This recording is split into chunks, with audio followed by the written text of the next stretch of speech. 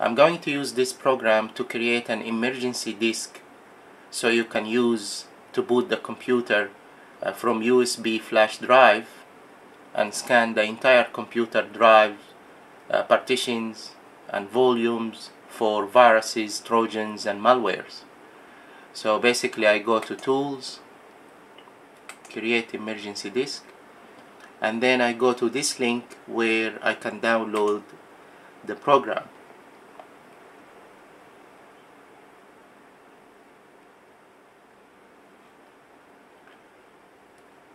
So I have here a download emergency disk.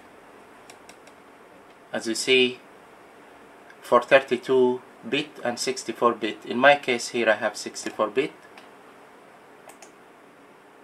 So I click here. Save.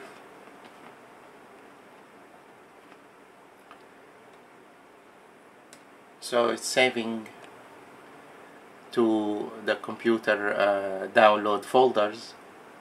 Once this download finish I will run the program. And then we continue in step 2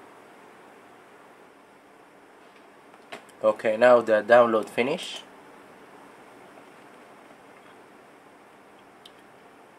So I go browse.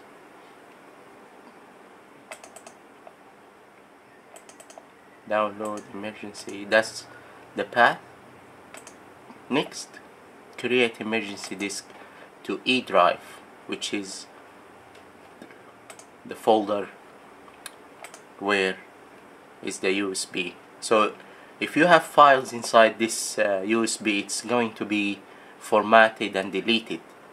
So I recommend to put uh, a, a, clean USB uh, drive. Next and it prompts you to confirm that it's going to be uh, formatted. So you click yes.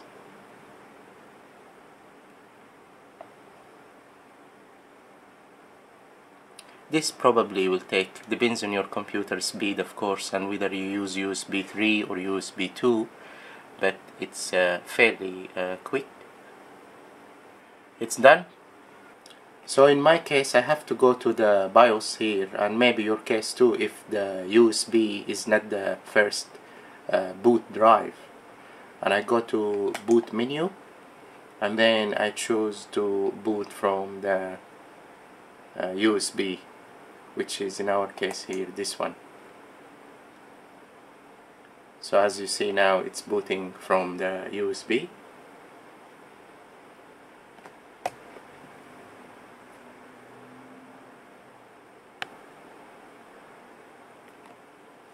The reason why it's saying starting Windows is because this USB created by Windows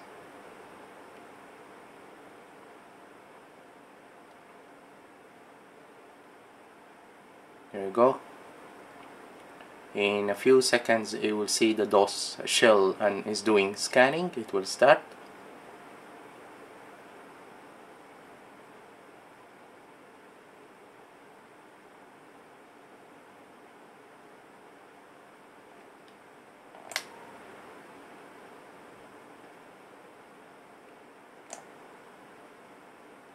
So you can see starting with the boot uh, record location.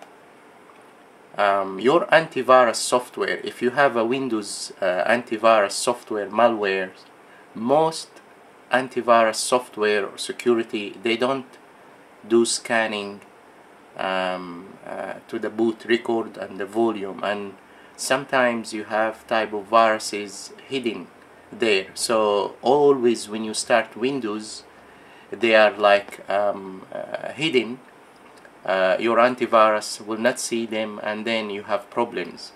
You need to have a USB uh, boot emergency disk to try to scan and to make sure your computer is clean